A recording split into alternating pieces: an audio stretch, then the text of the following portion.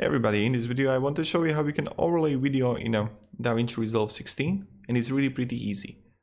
I have a StarCraft 2 clip here. Oh mamma mia, what happened? StarCraft 2 clip here. I'm just going to paste it into DaVinci Resolve 16 and I will just paste it over my first clip. As you can see, I can just see StarCraft 2.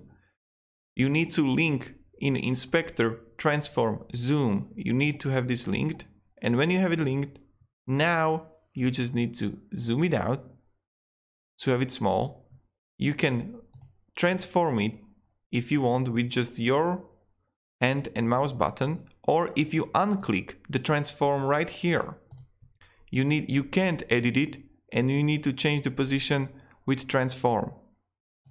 So again, if I click transform, I'm transforming, I'm moving it, I can rotate it as much as, as much as I want.